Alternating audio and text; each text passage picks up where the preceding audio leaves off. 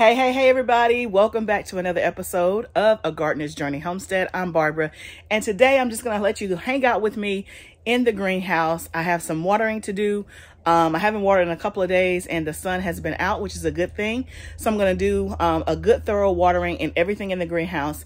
And then we're going to start some seeds today and we're going to up pot some seeds that have already um, outgrown their space and put them into bigger pots. So come hang out with me today as we do all things in the greenhouse and just keeping it going as we prepare for the garden season. Let's go.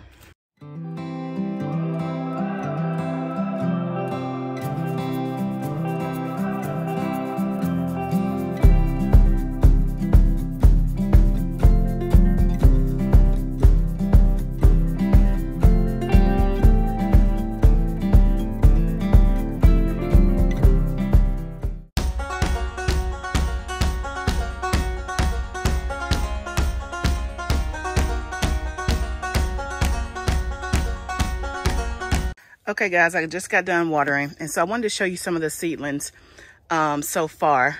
Y'all, I'm really proud. These seedlings are definitely doing better than when I tried two years ago. If you saw my video that I did maybe a couple of weeks ago about starting seeds, I told you that this is my second time starting seeds and I am determined for this not to be an epic fail like the first one. So I'll bring you a little bit closer so you can see. Um, doing really good. So I'm going to up pot some of these and put them in bigger containers. I did want to show you the um, potting soil that I'm using today. This is Happy Frog from Fox Farm. I got this at my local co-op. I have heard nothing but great things about this potting mix. So I saw a bag in there, so I grabbed it. So I'm going to try it.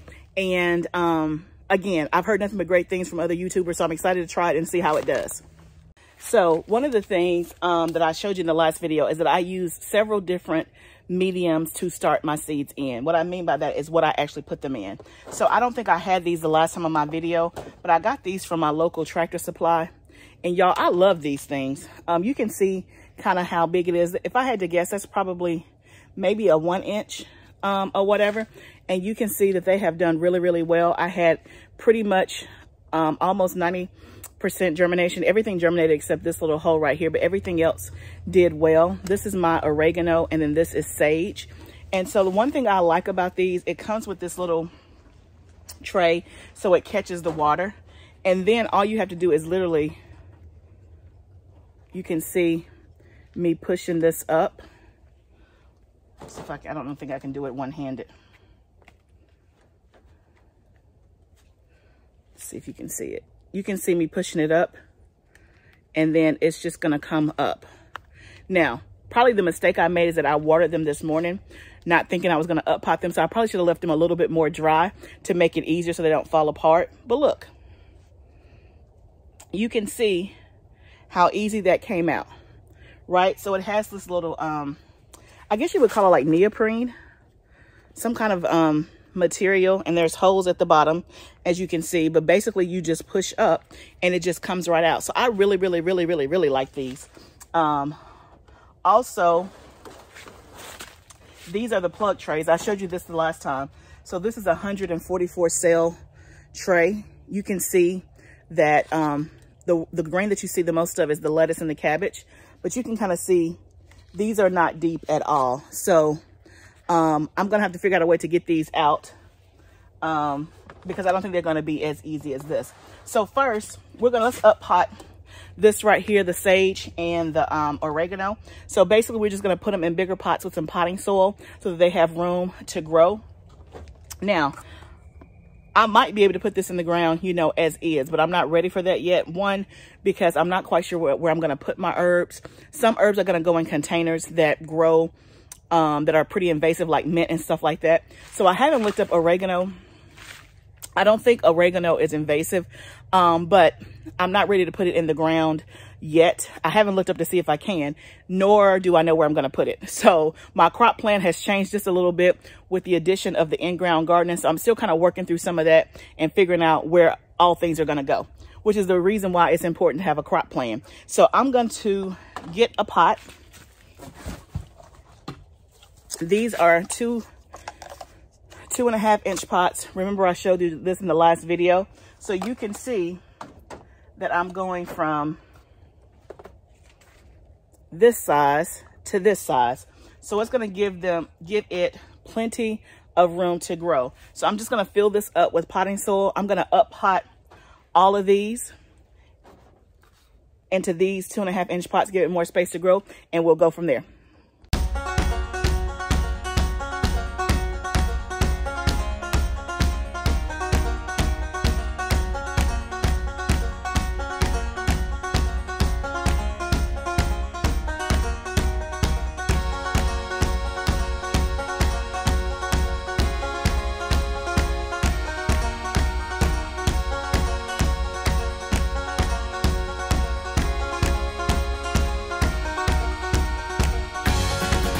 Okay, guys, you can see I've been busy potting stuff up. Now, I'll tell you, remember I told you how this was easy to pop out um, and put into these? This right here, I'm not going to say I hate it. I don't like it as much.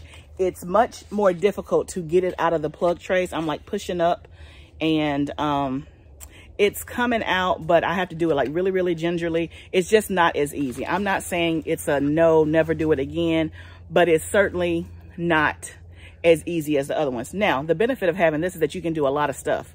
You know, it's 144 cells, so you can plant a lot of stuff. So you can kind of see, like, there's some that are empty and some that are not. My goal was to do a row of romaine lettuce. The lettuce was really, really, really hard to get out. And you can kind of see here, it has a lot of um, leaves and they've kind of gotten tangled in together. Um, so I did some lettuce and then I did almost a whole row of cabbage. The cabbage was easier to get out. So I'll show you. This is the cabbage that I up potted. And then this is the lettuce. The lettuce looks a little weepy. So I'm gonna water it and then I'll put it back in the house under grow lights because the temperature is still dropping here. So they're not in the greenhouse permanently. And let's see if they perk back up. Um, and then this here are all the things that I potted back up. So what I'm gonna do next is I'm gonna actually start some seeds today. I'm gonna start flowers. So I'm gonna do zinnias, um, celosia, and there was another one. I don't remember, but I'm gonna start some seeds and I'm gonna go ahead and do them in these pots here just so that I can fill up the other half of this um, tray. And then I went to Tractor Supply. I got another one of these. I'll put some flowers in these as well. And I said earlier that this was neoprene, but it's silicone. That's what it is. So we'll um, get busy starting some seeds from flowers. For this, um, as you can see, I have a lot of growth in the first two rows, the lettuce and the cabbage. You can see that my peppers are starting to come up here. So they'll obviously stay in the tray.